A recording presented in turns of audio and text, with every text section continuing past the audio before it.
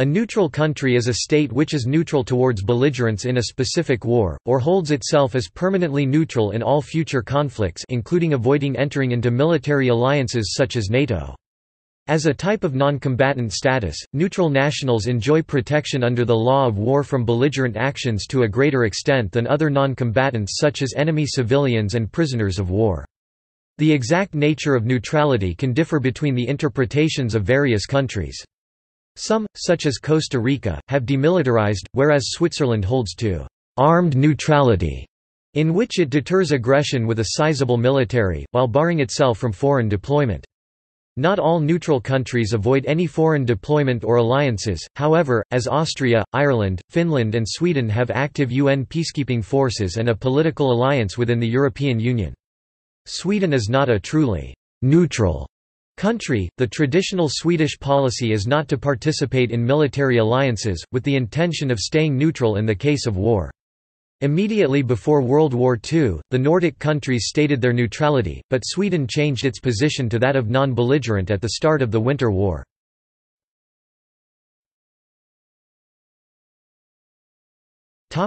Terminology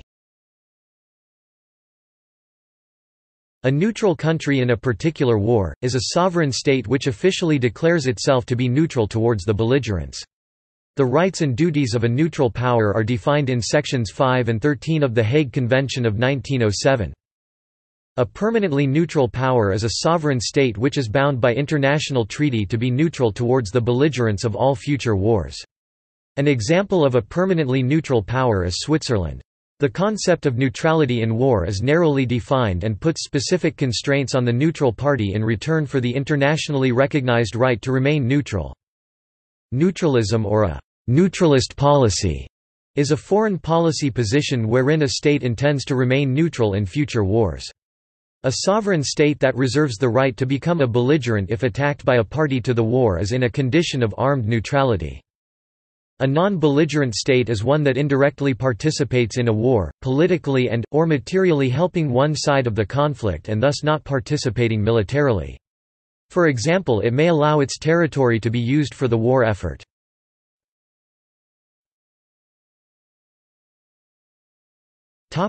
Rights and responsibilities of a neutral power Belligerents may not invade neutral territory, and a neutral power's resisting any such attempt does not compromise its neutrality. A neutral power must intern belligerent troops who reach its territory, but not escaped prisoners of war. Belligerent armies may not recruit neutral citizens, but they may go abroad to enlist. Belligerent armies' personnel and material may not be transported across neutral territory, but the wounded may be. A neutral power may supply communication facilities to belligerents, but not war material, although it need not prevent export of such material. Belligerent naval vessels may use neutral ports for a maximum of 24 hours, though neutrals may impose different restrictions. Exceptions are to make repairs only the minimum necessary to put back to sea or if an opposing belligerent's vessel is already in port, in which case it must have a 24-hour head start. A prize ship captured by a belligerent in the territorial waters of a neutral power must be surrendered by the belligerent to the neutral, which must intern its crew.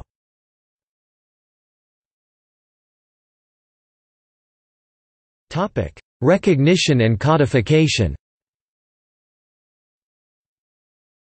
Neutrality has been recognized in different ways, and sometimes involves a formal guarantor. For example, Austria has its neutrality guaranteed by its four former occupying powers, Switzerland by the signatories of the Congress of Vienna and Finland by the Soviet Union during the Cold War. The form of recognition varies, often by bilateral treaty Finland, multilateral treaty Austria or a UN declaration Turkmenistan. These treaties can in some ways be forced on a country Austria's neutrality was insisted upon by the Soviet Union but in other cases it is an active policy of the country concerned to respond to a geopolitical situation Ireland in the Second World War, for the country concerned, the policy is usually codified beyond the treaty itself. Austria and Japan codify their neutrality in their constitutions, but they do so with different levels of detail.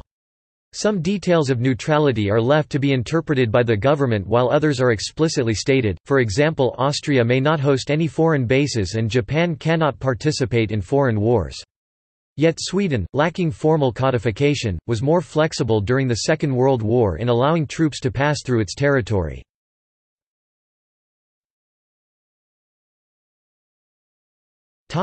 Armed neutrality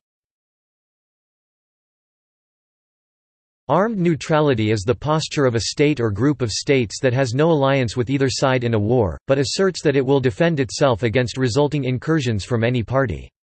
This may include Military preparedness without commitment, especially as the expressed policy of a neutral nation in wartime, readiness to counter with force an invasion of rights by any belligerent power. Armed neutrality is a term used in international politics, which is the attitude of a state or group of states which makes no alliance with either side in a war.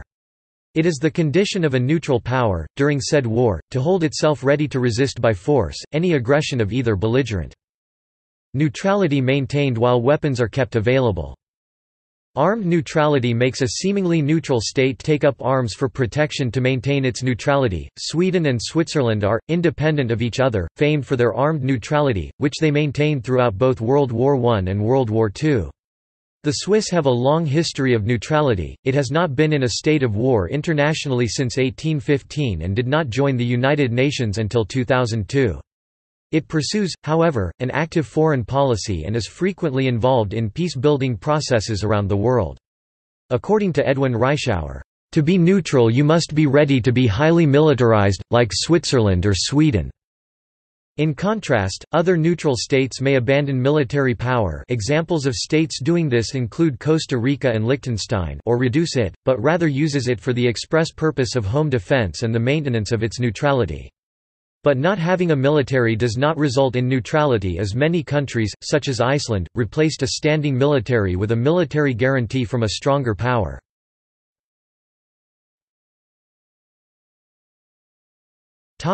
Leagues of armed neutrality The phrase, "'armed neutrality' sometimes refers specifically to one of the "'leagues of armed neutrality' The First League of Armed Neutrality was an alliance of minor naval powers organized in 1780 by Catherine II of Russia to protect neutral shipping in the War of American Independence. The establishment of the First League of Armed Neutrality was viewed by Americans as a mark of Russian friendship and sympathy. This league had a lasting impact of Russian-American relations, and the relations of those two powers and Britain. It was also the basis for international maritime law, which is still in effect. In the field of political science, this is the first historical example of armed neutrality, however, scholars like Dr. Karl Kulsrud argue that the concept of armed neutrality was introduced even earlier. Within 90 years before the First League of Armed Neutrality was established, neutral powers had joined forces no less than three times. As early as 1613, Lubeck and Holland joined powers to continue their maritime exploration without the commitment of being involved in wartime struggles on the sea. The Second League of Armed Neutrality was an effort to revive this during the French Revolutionary Wars. It was an alliance with Denmark, Norway, Prussia, Sweden, and Russia. It occurred during 1800 and 1801. The idea of this Second League was to protect neutral shipping from the British Royal Navy. However, Britain took this as the alliance taking up sides with France, thus attacking Denmark. The alliance was forced to withdraw from the League. A potential Third League of Armed Neutrality was discussed during the American Civil War, but was never realized.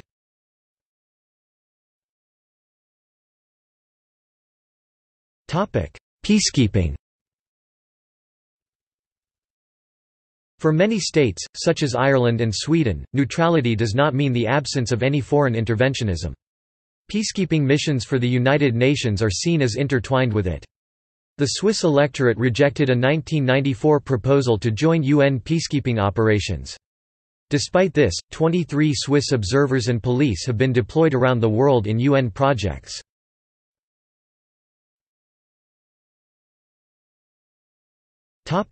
Points of debate The legitimacy of whether some states are as neutral as they claim has been questioned in some circles, although this depends largely on a state's interpretation of its form of neutrality.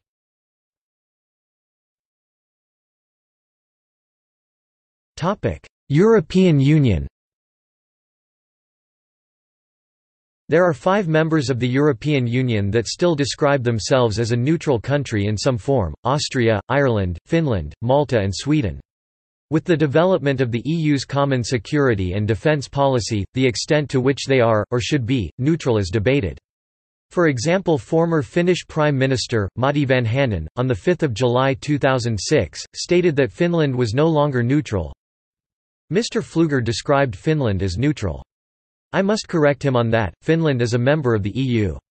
We were at one time a politically neutral country, during the time of the Iron Curtain.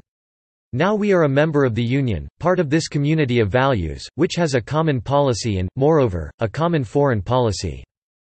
However, Finnish Prime Minister Juha Sipilä on 5 December 2017 still described the country as militarily non-aligned, and that it should remain so. Ireland, which sought guarantees for its neutrality in EU treaties, argues that its neutrality does not mean that Ireland should avoid engagement in international affairs such as peacekeeping operations. Since the enactment of the Lisbon Treaty, EU members are bound by TEU, Article 42.7, which obliges states to assist a fellow member that is the victim of armed aggression. It accords an obligation of aid and assistance by all the means in other member states power, but would not prejudice the specific character of the security and defense policy of certain member states. Neutral policies, allowing members to respond with non-military aid. With the launch of Permanent Structured Cooperation in defense at the end of 2017, the EU's activity on military matters has increased. The policy was designed to be inclusive and allows for states to opt in or out of specific forms of military cooperation. That has allowed most of the neutral states to participate, but opinions still vary. Some members of the Irish Parliament considered Ireland's joining PESCO as an abandonment of neutrality. It was passed with the government arguing that its opt-in nature allowed Ireland to join elements of PESCO that were beneficial such as counter-terrorism, cyber-security and peacekeeping. What we are not going to be doing is buying aircraft carriers and fighter jets. Malta, as of December 2017, is the only neutral state not to participate in PESCO. The Maltese government argued that it was going to wait and see how PESCO develops to see whether it would compromise Maltese neutrality.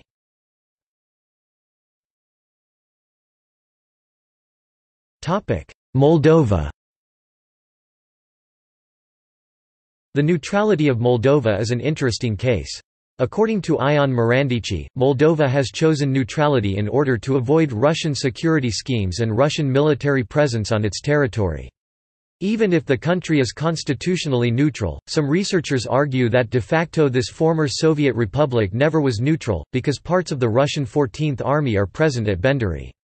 The same author suggests that one solution in order to avoid unnecessary contradictions and deepen at the same time the relations with NATO would be to interpret the concept of permanent neutrality in a flexible manner.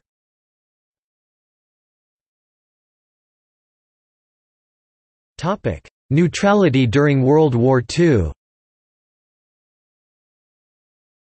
Many countries made neutrality declarations during World War II. Most, however, became occupied, and in the end only the states of Andorra, Ireland, Portugal, Spain, Sweden, Switzerland with Liechtenstein, and Vatican the Holy See remained neutral of the European countries closest to the war. Their fulfillment to the letter of the rules of neutrality have been questioned. Ireland supplied important secret information to the Allies, for instance, the date of D-Day was decided on the basis of incoming Atlantic weather information secretly supplied to them by Ireland but kept from Germany. Axis or Allied pilots who crash-landed in Ireland were interned, Sweden and Switzerland, as embedded within Nazi Germany and its occupied territory, similarly made some concessions to Nazi requests as well as to Allied requests. Sweden was also involved in intelligence operations with the Allies, including listening stations in Sweden and espionage in Germany, as well as secret military training of Norwegian and Danish soldiers in Sweden. Spain also pursued a policy of non-alignment and sent a volunteer combat division to aid the Nazi war effort. Portugal officially stayed neutral, but actively supported both the Allies by providing overseas naval bases and Germany by keeping its war machine alight with the extensive sale of tungsten. The United States was initially neutral during the war and was initially bound Neutrality Acts of 1936 not to sell war materiels to belligerents. Once war broke out, U.S. President Franklin Delano Roosevelt succeeded in getting Congress to replace the act with the cash and carry program that allowed the U.S. to provide military aid to the Allies, despite opposition from isolationist members.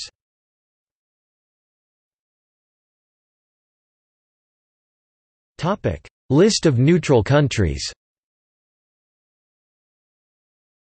Note, some countries may occasionally claim to be «neutral» but not comply with the internationally agreed upon definition of neutrality as listed above.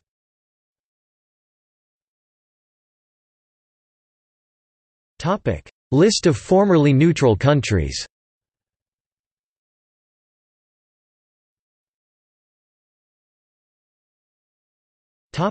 See also. Non-interventionism. List of countries without armed forces Non-belligerent International humanitarian law Dual loyalty Non-aligned movement Policy of deliberate ambiguity